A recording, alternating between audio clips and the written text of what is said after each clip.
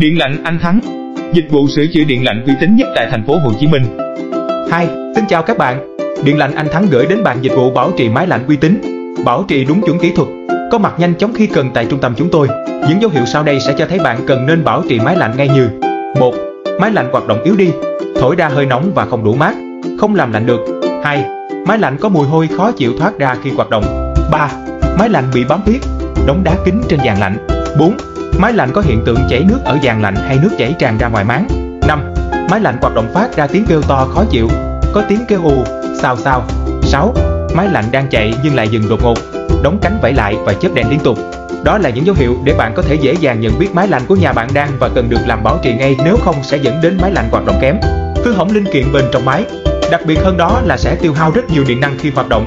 Trung tâm điện lạnh Anh Thắng nhằm đáp ứng nhu cầu bảo trì máy lạnh, điều hòa của khách hàng. Trung tâm luôn phát triển đội ngũ kỹ thuật viên nhằm đảm bảo có mặt nhanh chóng ở khắp các quận, huyện, tuyến đường ở thành phố Hồ Chí Minh. Tại trung tâm có nhận bảo trì máy lạnh ở nhà phố, hộ gia đình, chung cư, nhà hàng, khách sạn, quán ăn, xí nghiệp, bệnh viện, salon, spa. Điện lạnh Anh Thắng có chính sách ưu đãi đặc biệt cho khách hàng bảo trì từ 10 máy trở lên. Có hợp đồng định kỳ sẽ được giảm từ 10 đến 20%. Ngoài ra trung tâm còn có chính sách bảo hành cho khách hàng khi đã làm bảo trì máy lạnh như bảo hành máy lạnh chảy nước, máy lạnh kém lạnh, máy lạnh không hoạt động, hỗ trợ kiểm tra máy lạnh cho lần bảo trì tới.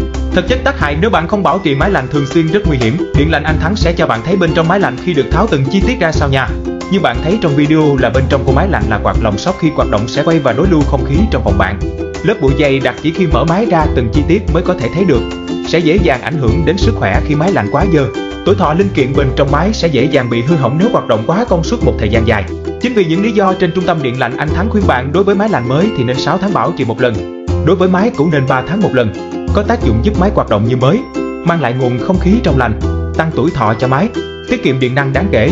Đặc biệt những nhà máy, xí nghiệp, nhà hàng, khách sạn, bệnh viện, quán cà phê và những nơi có tần suất hoạt động cao hơn mức bình thường.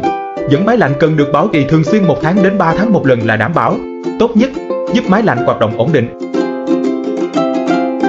Quy trình bảo trì máy lạnh tại Điện lạnh Anh Thắng như sau. Bước 1. Tiếp nhận thông tin khách hàng qua hotline. Bước 2. Sau đó sẽ chuyển cho kỹ thuật viên gần với khu vực của bạn. Nhanh chóng có mặt sau 30 phút khi tiếp nhận thông tin. Bước 3. Kỹ thuật viên đến nhà hỗ trợ kiểm tra máy tổng quát trước khi tiến hành làm vệ sinh dàn lạnh. Bước 4. Bảo trì dàn nóng và hỗ trợ kiểm tra ga nếu khách hàng có yêu cầu. Bước 5. Dọn dẹp sạch sẽ khu vực làm việc, vận hành lại máy lạnh cùng khách hàng. Bước 6. Dán tem bảo hành lại máy vừa làm.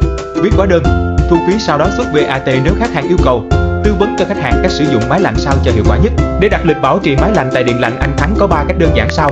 Cách 1. Bạn truy cập vào website www.diendanhanthang.com có biểu tượng đặt lịch mình góc trái nha. Cách 2. Liên hệ vào số hotline 0901778300. Cách 3. Truy cập vào link fanpage Điện lạnh Anh Thắng. Dưới phần mô tả có link fanpage nha. Chúng tôi sẽ đến tận nơi bảo trì máy lạnh cho bạn. Hãy liên hệ trung tâm Điện lạnh Anh Thắng ngay khi bạn có nhu cầu. Dịch vụ uy tín, chuyên nghiệp, nhanh chóng, trách nhiệm